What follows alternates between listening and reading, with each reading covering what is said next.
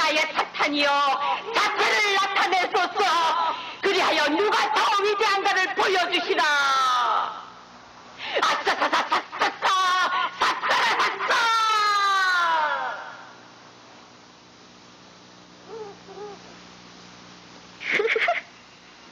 어? 왜 이렇게 사탄님이 소식이 없지? 오, 사탄이여! 사탄이여! 아이고, 신령님 잘못했습니다.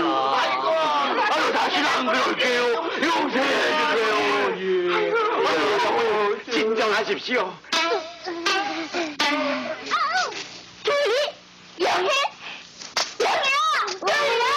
오빠 영희야 다시는 못 만날 줄 알았어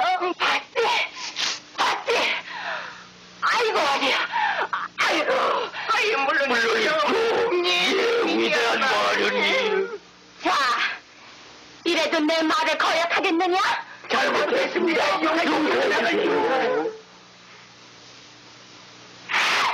누구야 누구야 버릇없이 천년 이 불을 만드는 게 아! 나가요